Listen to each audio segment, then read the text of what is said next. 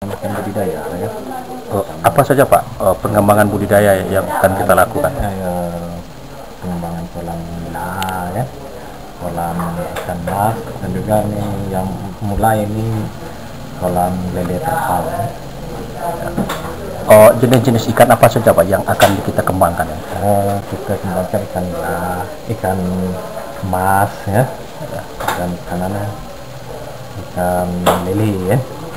Sekarang juga kita sudah mulai eh, dicoba nih untuk. Nah, jangan Andainya Pak ada masyarakat misalnya yang meminta nih, kebutuhan akan ikan, mereka ingin mengembangkan, ke mana mereka bisa ber- berurusan? Oke, dinas kita. Kalau untuk budidaya, kebetulan bidang kita yang menangani. Tapi kalau untuk pemanfaatan perairan umum itu di bidang perairan umum ya. Untuk stocking ya, itu di bidang perairan umum. Tapi kalau untuk budidaya itu ke dinas perikanan, khususnya ke bidang perikanan, budidaya ya. Nah, kita Eh, di mana ada Pak titik sasaran nih untuk pengembangan eh, budidaya perkembangan perikanan yang ada di Kabupaten Kerinci? Kalau untuk perikanan kita karena memang daerah kita daerah eh, sumber daya airnya mendukung hampir seluruh eh, wilayah di Kabupaten Kerinci itu potensi semua untuk pengembangan perikanan. Memang kita kemarin fokus di danau itu untuk keramba ternakku.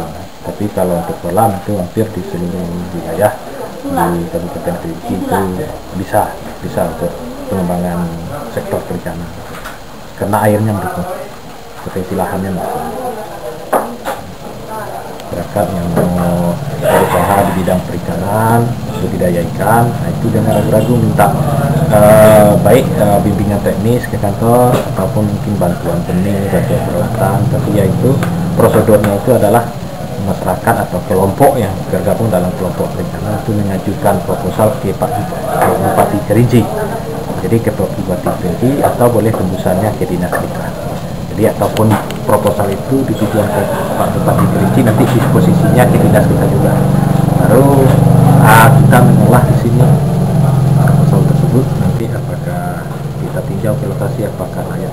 itu atau kita bimbing secara teknis. Tapi jangan ragu masyarakat berusaha dengan kita semuanya akan kita layani dengan semaksimal mungkin.